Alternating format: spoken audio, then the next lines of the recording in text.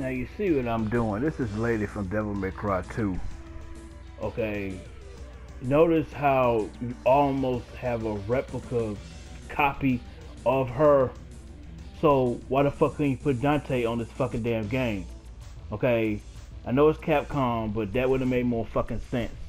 So that guy from Final Fantasy would have somebody to fight and do some swordplay shit other than just fucking Yoshimitsu. But you see how you can make Sakura, you can make Rolento, you can make Ryu, you can make Ken, you can make Bison. Come on now, you can make Sagat if you could damn get to Kazuya not to have any hair and an eye patch. You know, they don't give you that much, but that's dead on right here. So I'm not the only one seeing this, Emma. That's what I do. I create stuff.